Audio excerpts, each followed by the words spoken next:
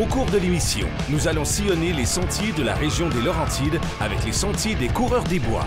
Analyser la motoneige Polaris 800 SKS 2018 avec nos spécialistes de chez RPM Rive-Sud à Lévis. On se déplace à la quatrième édition du Challenge Blanc à la Tuque pour notre grand plaisir. Bienvenue à motoneige.tv. Encore énormément de contenu cette semaine à l'émission. Maxime, on connaît le Paris-Dakar pour le challenge que ça peut représenter et on a la même chose ici avec le challenge blanc. Oui, le challenge blanc, ça se passe à Latuc, c'est la quatrième édition. C'est un challenge, c'est pas une course. L'important, c'est de se fier au roadbook et garder la destination. Ça se fait en équipe et c'est pas facile. C'est pas facile parce qu'il faut vraiment être en accord, trouver le chemin le plus court. Donc, c'est pas la vitesse. Finalement, faut prendre le temps d'être rapide. Faut prendre le temps d'être rapide. Je vous le dis, c'est éprouvant, c'est pas facile. On regarde ça.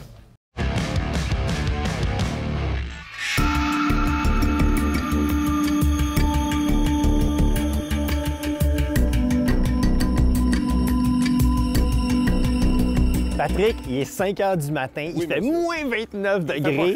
Et là, ce qui s'en vient, c'est le challenge blanc. C'est Oui, quoi le challenge blanc? Écoute, le challenge blanc, c'est ma passion que je transmets à tous les passionnés d'aventure. Moi, j'ai fait le Paris-Dakar il y, a, il y a 10 ans de ça.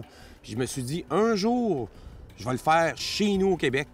Puis là, je pouvais pas le faire en moto, fait que je l'ai fait en motoneige. On va partager cette passion-là, mais en moto, le désert, les sables, il n'y en a pas bien bien au Québec. C'est vrai. Mais on a de la motoneige, du beau désert blanc. Alors, j'ai fait le challenge blanc.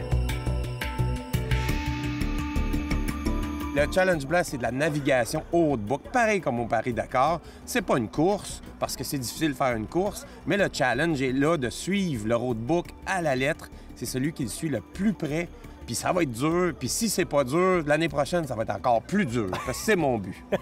J'adore ça.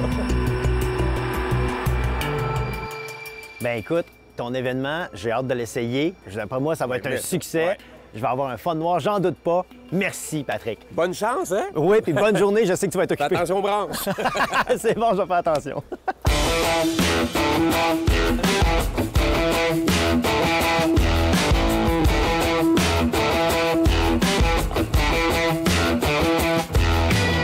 On est à Latuc cette semaine, puis l'équipe de motoneige.tv a eu l'idée de m'inscrire au Challenge Blanc. Je peux pas faire ça tout seul, moi. Fait je suis allé chercher mon amie Roxane Ouellette, une championne du sled peak. Là, ça va y aller.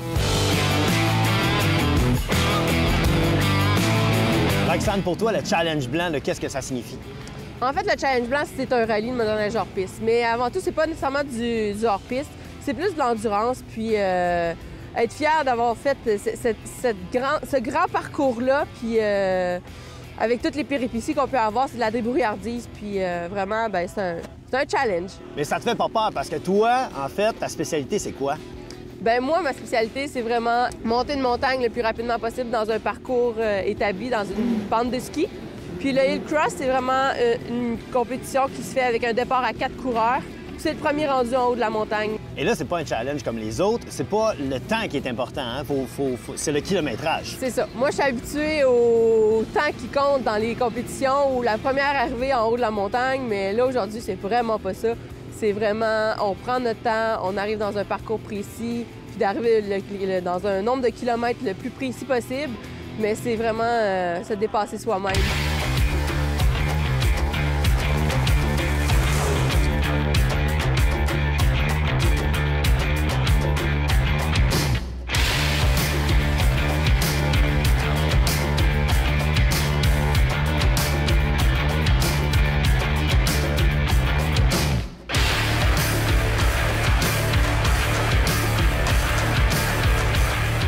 On est avec Mathieu et Yannick. Là, vous êtes rendu à quelle petite case, là? Ah, là, on est rendu 168. 168. Bon, puis jusqu'ici, ça va bien? Ouais, super. Oui, mais ils passent par le lac, ils sont tous capables de les bypasser. Ici, sur le lac, là, ils prennent tous les trails. Ouais, mais c'est ça, nous autres, on est ressortis du lac pour s'en venir par ici pour aller collecter. Allez vous montrer.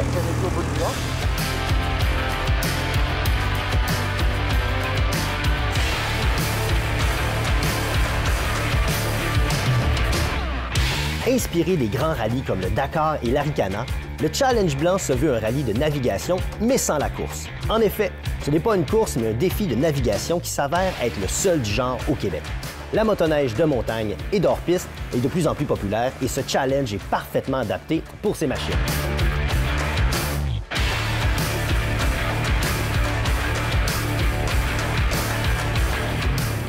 OK. Là, on s'est rendu à peu près à 169. Faut juste valider, voir la position avec notre GPS. Avec la là. boussole? Ouais. Bon, fait que là, faut s'en aller. Mettons là, sud, sud-est. Fait qu'il faudrait comme être... Tourne un peu. Fait qu'on n'est pas loin, là. On va l'avoir. On va essayer de l'avoir. On va l'avoir. Ça va bien aller. Ah oui. C'est bon. Merci, Max.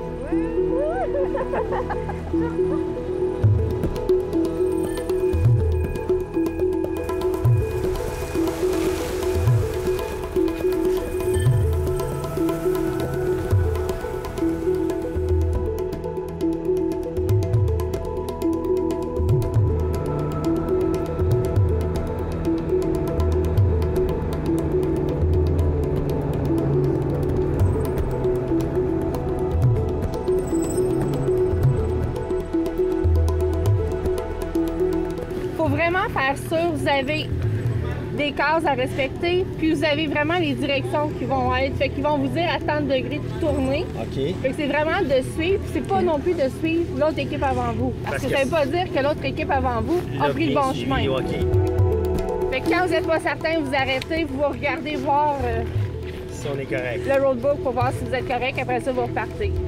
Comme dans les autres raids ou rallyes, la plus grande difficulté du Challenge Blanc, c'est l'endurance et la persévérance. Avoir deux options. Contour arbre, gauche ou plus technique à droite. Parce que euh, ton kilométrage n'est pas bon. Donc là, je vous explique qu'est-ce qui se passe. On n'est pas tout seul à pas savoir où est-ce qu'on s'en va.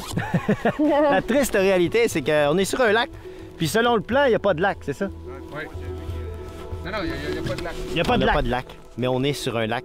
Fait que là, on a deux options. Soit on, on transplante des arbres, on fait pousser des arbres, puis on se dit qu'on est plus sur un lac, ou soit, ben, on revire de bord. On revire de bord!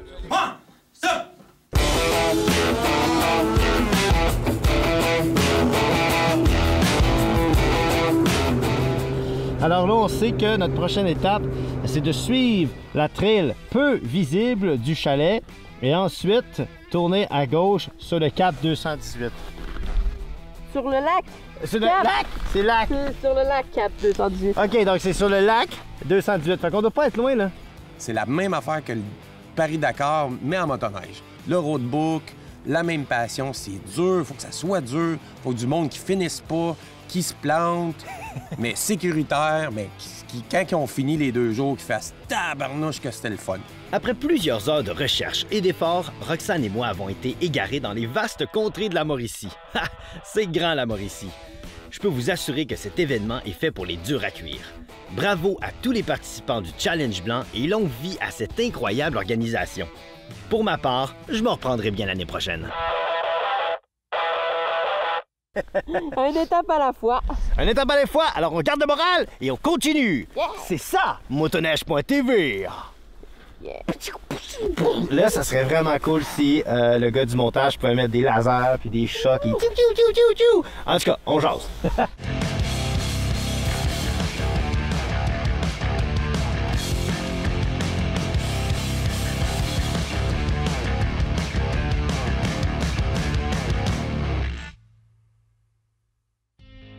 Si votre assurance de responsabilité civile est de 1 million de dollars, il n'y a pas de différence entre celle-ci et celle incluse dans le droit d'accès de la Fédération des clubs de motoneige. La FCMQ a négocié un tarif préférentiel pour tous ses membres motoneigistes.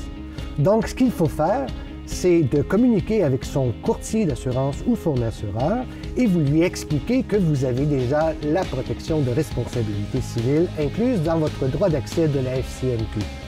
Ensemble, vous pourrez prendre la décision soit de la retirer ou de la conserver. C'est toujours de précieux conseils que nos amis de chez Intact Assurance nous offrent. Maxime, est-ce qu'on peut dire que les compagnies sont à l'écoute des motoneigistes quand vient le temps de fabriquer des nouveaux modèles? Oui, oui, ils sont à l'écoute et j'ai un bel exemple pour toi. C'est le Polaris 800 SKS 146. Il y avait déjà un, un grand frère de 155 pouces, bien, ils en ont fait un 146 pouces pour avoir un meilleur contrôle en sentier. Mais je vous en dis pas plus. Et qui mieux pour nous en parler que notre pilote d'essai, Denis Lavoie de motoneige.ca. Denis, qu'est-ce qu'on a devant nous? Euh, Elle t'a tapé dans l'œil. hein? Oh oui. Oui, bien écoute, euh, regarde-moi les couleurs de ça, c'est réellement incroyable. Oui. On a ici la SKS 146. C'est un tout nouveau modèle chez Polaris. Et là, cette machine-là, elle est pour qui? En fait, cette machine-là s'adresse pour, mettons, le motoneigiste qui aime faire du hors-piste euh, ou de la motoneige de montagne, si on veut, euh, puis qui vont avoir à aller à faire des longues distances en sentier. Mais c'est naturellement, il y a un petit compromis sur le, le contrôle. Ça va falloir travailler un petit peu plus fort avec la machine. Oui, puis ça commence avec, euh, avec les skis, en fait, parce que l'empattement est différent. Oui, bien, on- en fait, on a les ski grippers en avant.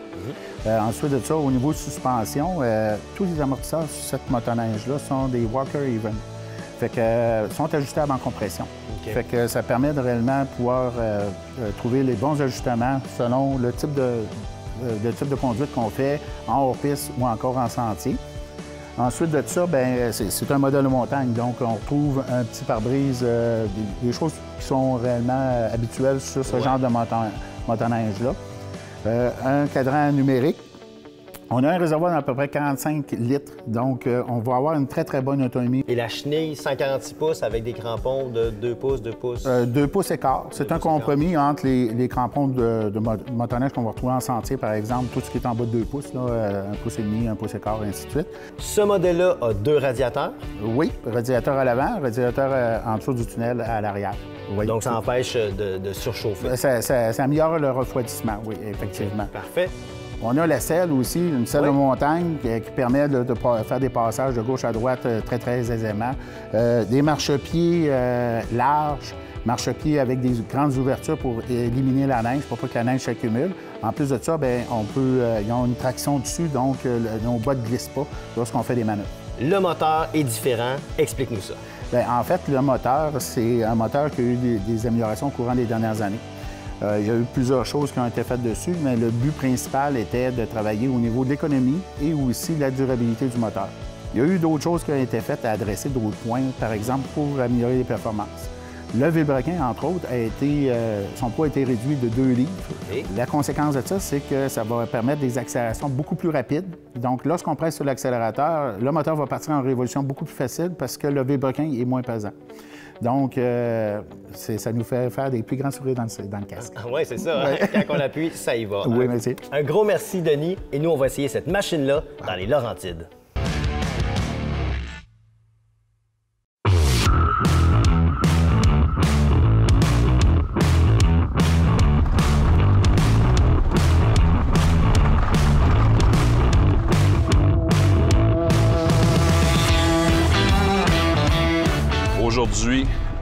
On se dirige sur une route forestière. Je suis dans les Hautes-Laurentides. C'est une invitation qu'on a eue de motoneige.tv. On s'en va faire un concours non officiel. Débat des chefs. Sébastien Dumoulin, Pourvoirie Mécos, Martin Gamache, moi-même, Rabasca Lodge. Sébastien, spécialiste des shore lunch été avec le poisson et tout ça. Moi, je suis le spécialiste de la saucisse l'hiver avec mes Européens. Tous les deux, on fait de la cuisine extérieure. Donc, euh, aujourd'hui, inutile de vous dire qu'il fait froid. Fait que c'est un défi additionnel. On va voir qui est le meilleur. Alors là, de ce côté-ci, on a Sébastien qui est en train d'apporter du stock pour nous faire un méchant bon lunch. Sébastien, toi, t'es un peu compétitif quand même là. Oh, mais là, c'est la guerre des chefs, hein? Ah ouais, ben là, hein? Hein, gars, la poêle est toute grande. c'est là. ok, c'est tout. pas- On va faire... On va se gâter ce midi, là. Là, on va, on va se dire juste entre nous autres. Tu vas-tu battre Martin? Oh, mais Martin avec ses saucisses. Si mettons qu'il est bien pas de tâche.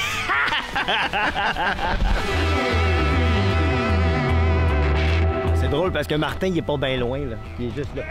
Là, qu'il a dit, c'est qu'il allait te battre facile. Écoute, là, là, euh, là, je vais te dire, là, euh, écoute, euh, on parle de vraies choses. là. Oh! Du bois sec, pas Du gros. bois sec cultivé Hey! dans un endroit non humide. Non, c'est juste parce que taille. J'ai Oh! les, les bols, tout ça, parce Ah, qu'on ben. va faire trois services. Ouais, ouais, écoute, c'est Oh. c'est comme un mariage, c'est une réception, là. Top On de a des contenants et Tu connais ça, toi, un mariage sur le top d'une montagne? Ouais, moi, c'est vrai. Je me suis marié sur le top de la montagne. Ah ouais? Pour vrai, il y a 10 ans. Oh! Puis ça marche encore.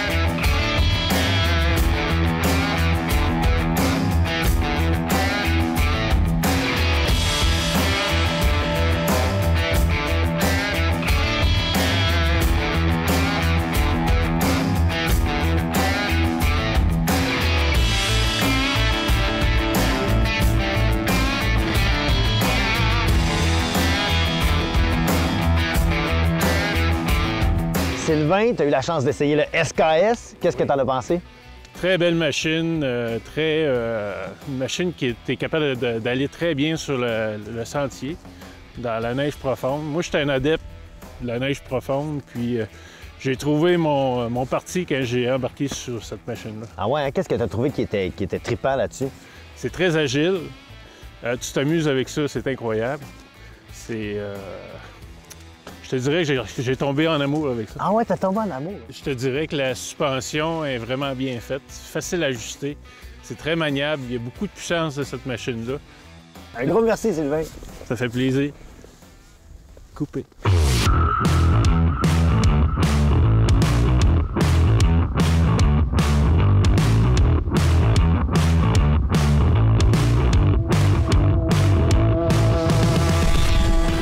Ben là, on est en train de monter une belle montagne.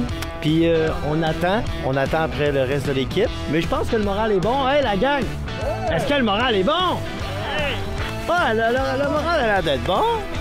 Parce que c'est ça aussi la magie de la télé. Ben, tu sais, des fois on attend, des fois on se coince, des fois on se décoince. Puis, euh, puis on attend souvent après l'équipe technique.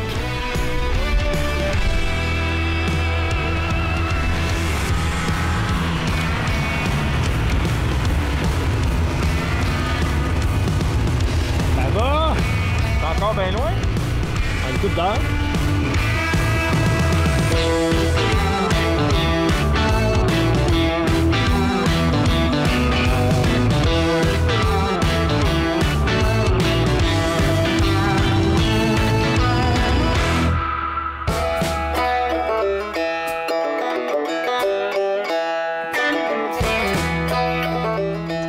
là, les gars, on est, on est sur une montagne avec une vue hallucinante. Mais on est où? Là, on est sur le territoire de la pourvoirie Mécousse, comme qu'on peut voir en bas, le- la pourvoirie est juste en bas. Ouais, on la voit, ouais. on a monté en haut parce que on s'est fait. On s'est mis un petit défi, moi puis Martin, pour savoir euh, qui, qui serait le meilleur euh, cuisinier pour faire euh, goûter euh, le repas de ce midi à, à tous les membres. À toute l'équipe. Bon, ben, je déclare le, le- le- le concours ouvert!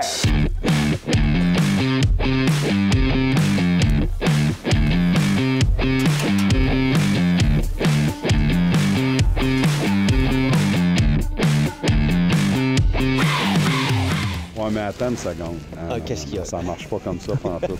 Moi, là, je suis invité ici. Mm-hmm. Puis là, mon Sébastien, il dit Martin, amène à rien. Moi, j'ai tout ce qu'il faut, fait que je vais te faire un kit pour toi. Là, il m'amène une petite poêle. Puis lui, gardez la poêle. fait que là, tu sais, moi, j'ai l'impression que je pars déjà avec deux prises. Puis là, en plus, il a préparé des affaires que j'ai pas vues pour moi. Fait que là, moi, là, je suis vraiment sans fil d'affaires. C'est un bon vous défi. savez, lui, il est chez eux, mais moi, je suis pas chez nous, là. J'ai pas mes affaires. Fait que ça va être bon en tabarouette. Bon, ben, on essaie ça. Ouais, mais c'est quand même, on ne part du même point. Je vais quand même te laisser quelques saucisses, morceaux de pain, là. Moi, je suppose que t'as des crevettes. ça se ressemble, tu sais.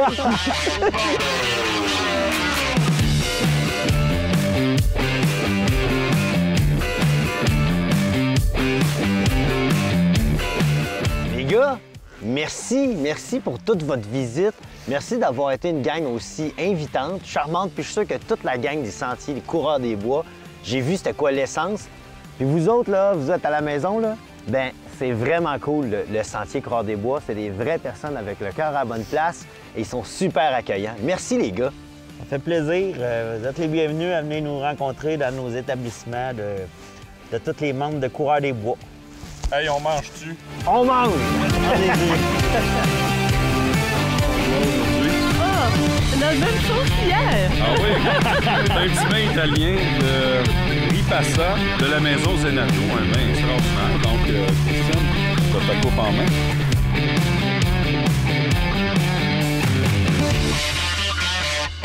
On va regarder. C'est.